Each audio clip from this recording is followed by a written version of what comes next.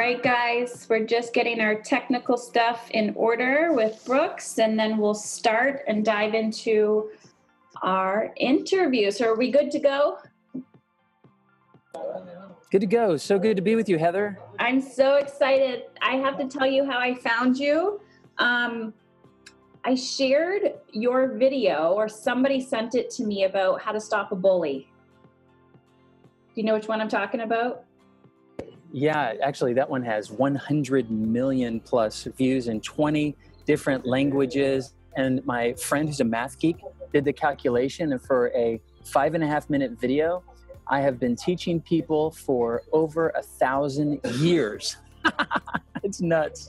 That is so amazing. So, I want to introduce you to everybody who's watching if they're not familiar with who you are. So, you're award winning social skills educator. You teach strategies for conflict resolution with a special emphasis on emotional resilience and the golden rule. You're an elite communicator whose message has reached millions through skillful balance with wit and wisdom.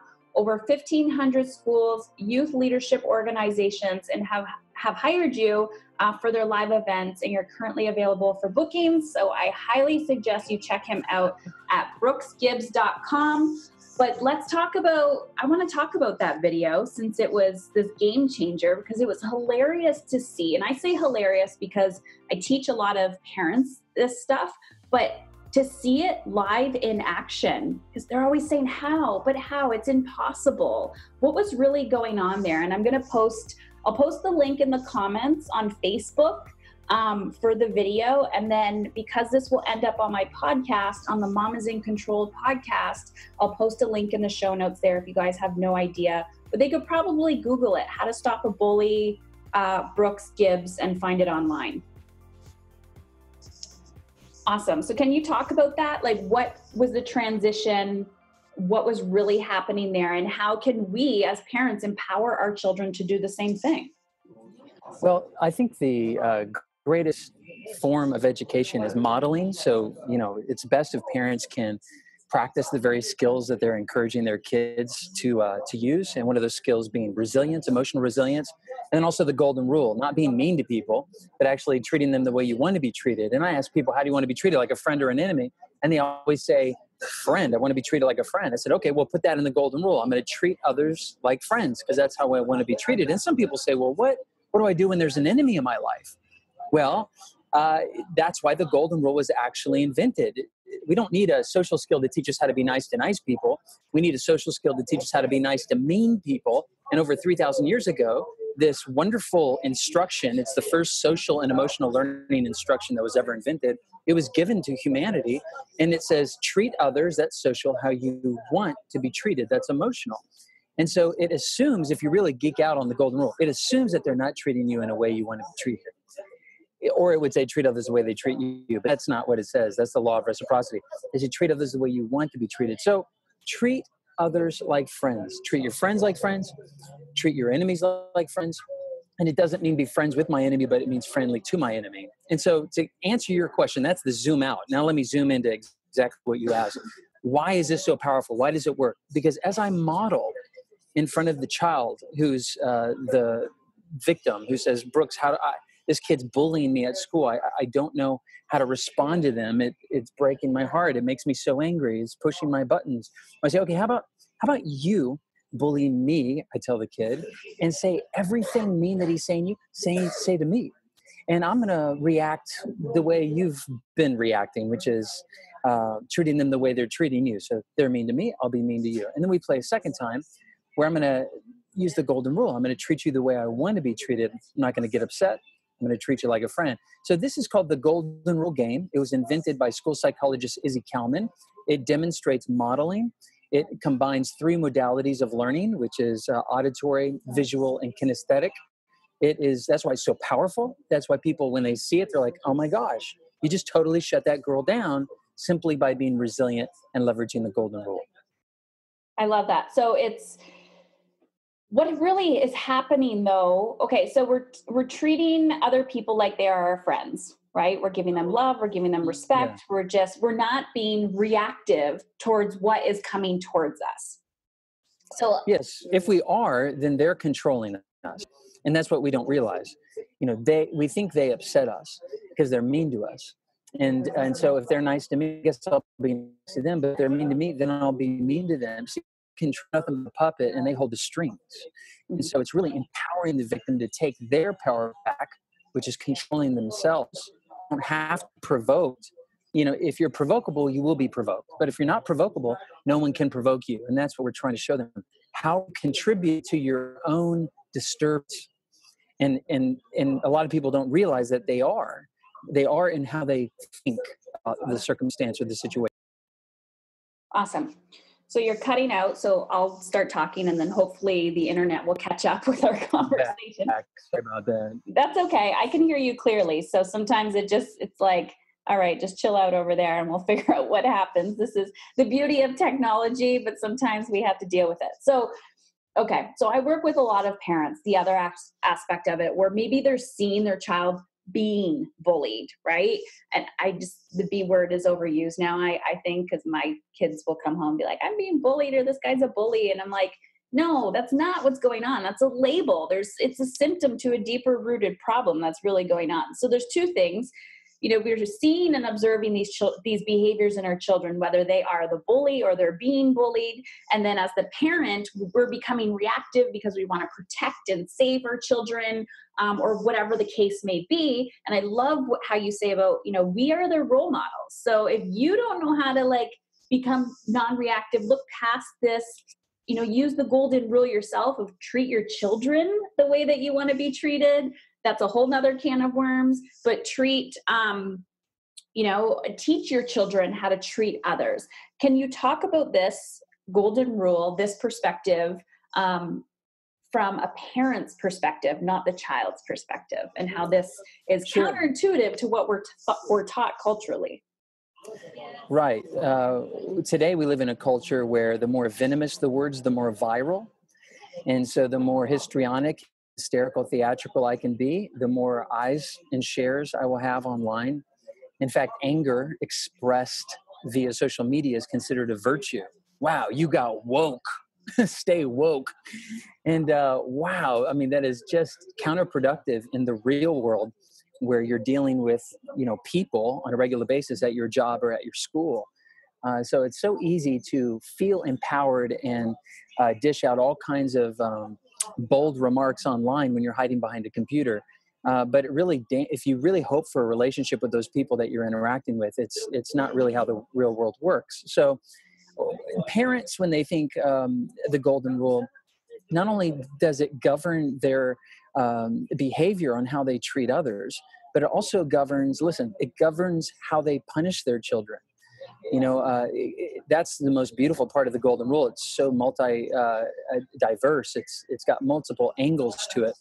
Uh, so if my child uh, makes a mistake or, or commits a uh, breaks a rule in the home I want to make sure that my discipline, or a better word I like to use, my punishment, because that's clearly what I'm trying to do, my punishment is not violating the golden rule. And I put myself in that child's shoes. If I made that mistake or if I broke that rule on purpose or unintentionally, all those things I have to factor in. How would I like to be punished? And if you uh, would not want to be punished the way you're punishing your child, it becomes immoral by definition of golden rule. And that's a good governor uh, a seatbelt, so to speak, of our punishment and how we interact with children. And it also helps us to have clarity. Uh, if a child comes to me and says, I have this mean kid that's calling me fat at school, it's really hurting my feelings. My uh, papa bear wants to come out and rip that kid's head off and say, Who do you think you are, dude? You know, whatever. But then I think, okay, put myself in that child's shoes. If I was at work and someone was making fun of my fat, you know, how would I respond to it? Well, I wouldn't ask someone to take care of my problem for me. That person would probably detest me, and and and that would only escalate hostilities. Okay, uh, well, you know what? I would just not give a flying flip. I wouldn't even care. Like what evs? And I'd probably comment saying, you know what? The nice thing about being fat is I don't have to wear a sweater in the winter. You know, you probably uh, freeze like and break like a twig or something. You know, just kind of make a joke about it. All jokes are insults. If I can insult myself, I'm demonstrating mental health, and I give that guy no power. So putting the golden rule in my parenting skills actually gives me wisdom on how to tell my child to deal with it because that's how I would deal with it if I was in their shoes. We need to give back to the golden rule. It served us so well for millennia, and it certainly is applicable to today's challenges.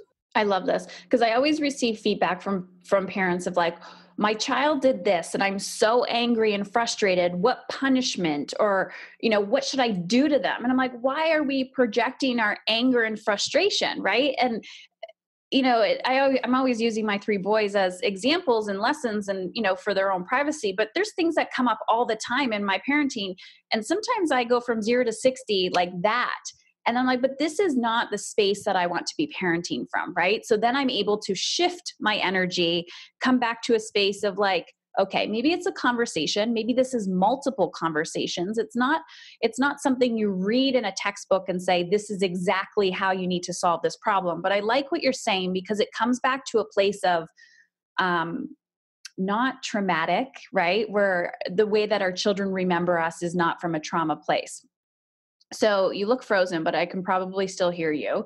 Um, I have another question for you. So just let me know that you can hear me.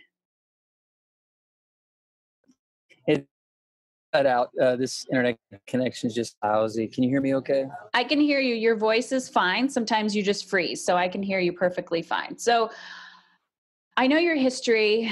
You were a cutter in middle school. I think this is a really important conversation that we need to have because there's a lot of um, fear that can be heightened for parents when they're observing their children doing something like this. And again i'm like hey it's a symptom. It's they're speaking to you so let's listen right? Sometimes they just don't know how to use words. So can you talk about that? Um you know put who you are now compared to who you were and and what you would say if you were the father of a child that was doing that now and how you would completely approach it differently? Yeah i would say don't overreact you know if you research cutting the um, the clinical definition or the clinical name is non-suicidal self-injurious behavior. Mm-hmm. and that's so encouraging you know because we think they're slitting their wrist well technically they're cutting their wrist or their thighs or, or their stomach i'm not sure where um, but it's they're not trying to kill themselves they're actually trying to live. And this is their coping technique. And physiologically it releases endorphins in the brain it gives them somewhat of a jogger's high it gives them a sense of control over the emotions. For me it was always like my mom had one of these pressure cookers and when pressure would come out of the steamer at the top that's how it felt when i saw blood coming out of my skin I felt like the anxiety was leaving. Um, so just understand that, that it's a coping technique. It is addicting, so you do want to consider alternative coping techniques. One thing that I've encouraged kids that I work with is joining what's called the uh, the butterfly movement, which is um, typically kids who cut have someone in their life that they've lost uh, to death somehow, and they love them, and that was the start of their cutting. Uh, because the morbid thought of death and the finality of death is so powerful that um, I don't know, it just triggers it. So what kids do, part of this butterfly movement, is they take a magic marker and they they draw a butterfly on their skin, and they name it the person that they love, whom they lost, and uh, they have an agreement. As long as that butterfly is on my skin that represents my loved one, I will not cut. And so as it starts to fade, I'll draw it again just to make sure. And it's just kind of agreement with me and that loved one that passed. And uh, and I'll find other ways like journaling or lyric writing, songwriting, um, uh, even uh, talking, you know, conversation therapy with people, journaling, stuff like this. What kids don't talk out, they act out. And so it's important to uh, find a way to express it. Um, but you look at two year olds and they do this. It's called the self pacification. They, uh, they bang their head on a wall or a floor or and it looks disturbing like do i have a psychopathic child? No they're calming themselves down people who have tattoos after uh, a major event in their life to represent something meaningful as a form of non-suicidal self-injurious behavior. Uh, so it's really under a broad spectrum of uh, deep meaning and calming and uh, framing the event that's happened in their life into something that they can control. So don't freak out. Just find out alternative ways that they can commit to uh, to expressing themselves. Awesome. And do you recommend that when a child or a family is you know something like this it could be cutting it could be something else behavior that's really you know triggering your fear as a parent do you recommend that they always seek outside help or do you think because this is another question I get of like, I need to solve this problem for my child. What is the importance of getting professional help? Um, and when you also sometimes feel, because let's be honest, not every single person you come into contact with is going to be a right fit. What is your perspective on that? Just because they have a degree doesn't mean that they're going to have any way to help you. You know, some people are educated beyond their intelligence, and I run into that all the time.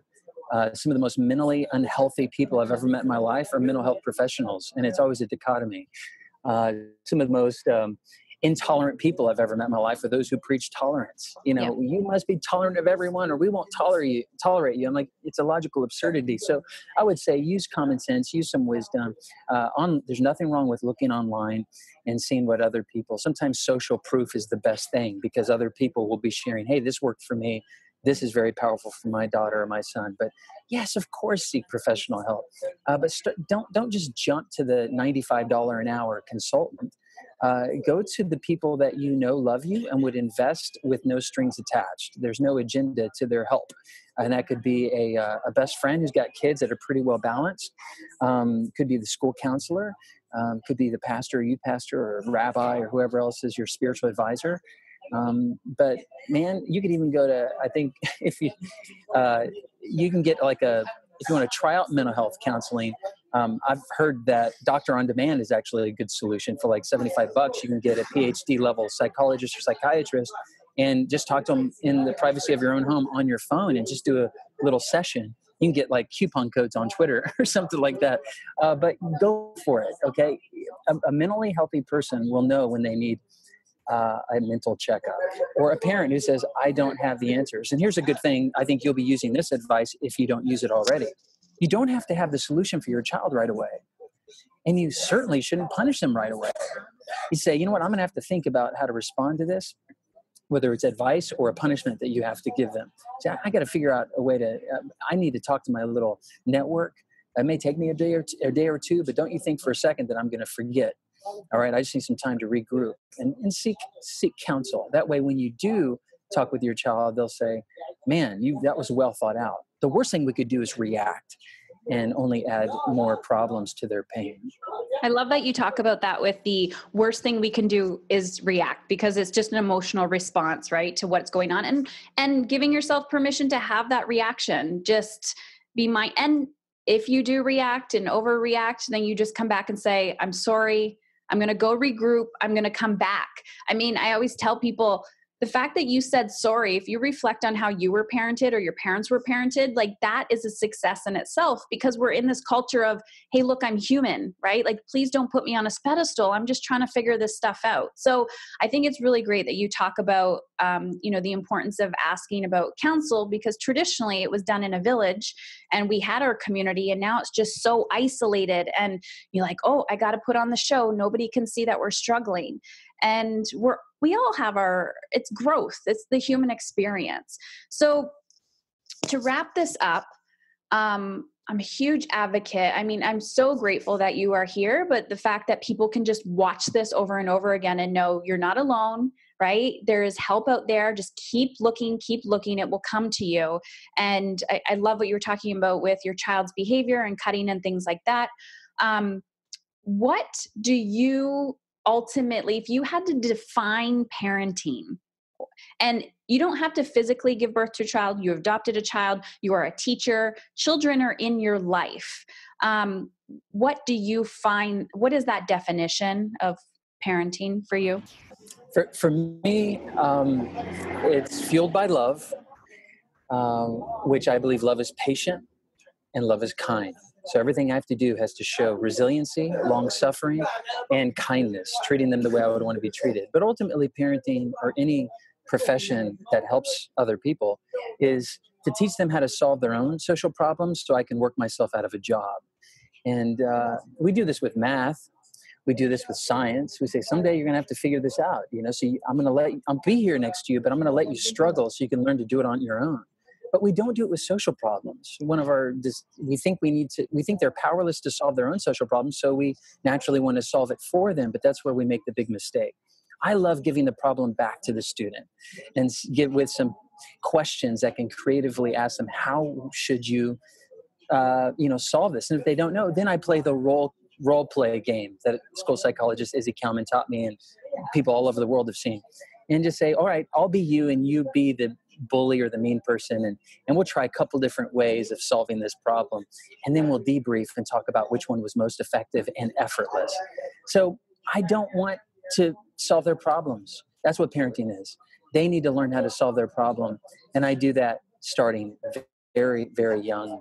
Give the problem back to them. Say, hey, I'm on your side, but I'm in your face, okay? And I expect you to be mature enough to learn this. So let's let's learn together.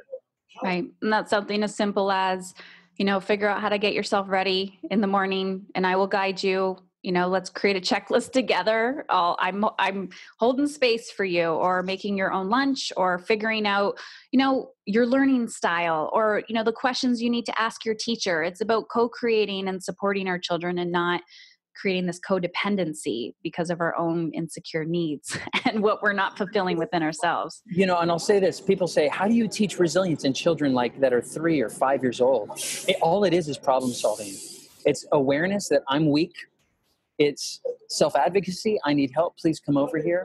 It's self management. Wow, I learned to do this. I can do it on my own. And it's it, which kickstarts an inner motivation, a self motivation to solve another problem. Because all emotional resilience is built through problem solving. Physical resilience is built through uh, getting hit by pain again and again and again. That's how we grow muscles. We rip apart our physical body, or I play guitar and I build up calluses by exposing myself to physical abuse in my fingertips day in and day out. Emotional resilience is not made that way, thank God. It's simply through illumination, education, Oprah aha, that says, oh, I get it. So, okay, I need help. I need someone to teach me how to do this. Okay, I can learn how to do this on my own. Wow, what else can I learn? So, if they can learn how to solve problems early on, they will be very likely to be more resilient once they realize, okay, in middle school, this guy's trying to dominate me. Why? Oh, oh, he's dominating me because he, he's trying to hurt my feelings. I have control of my feelings. Well, then I'm not going to give him the satisfaction of evoking out of me a negative reaction. Shoot, say what you want to say. Hater's going to hate. I'm just going to shake it off. They come to that, that illumination, a pattern of problem solving, and through the caring assistance of a loved one, a teacher, a parent, someone who says, I'll help you figure out how to solve this on your own. Yes, I love that. So, where can people find more of you? What are you up to these days? And yeah, that's all I want. Well, I'm all over Facebook, I guess, right now. So facebook.com uh, forward slash Brooks Gibbs. Uh, and you can go to gibbs.com. Uh, want my raise them strong how to teach your children emotional resilience. Can you hear me? Yep. So raise them strong. You can find video oh, lessons. Well video lessons on how to um, create resilience in your children. Did I get it? Thank you. Yep. Okay, cool. Well, thank you so much, Brooks. Um, the video is acting up, so we'll we'll stop here. But this has been a huge asset to the people that are listening, and I truly appreciate your time and your energy and your dedication to this message.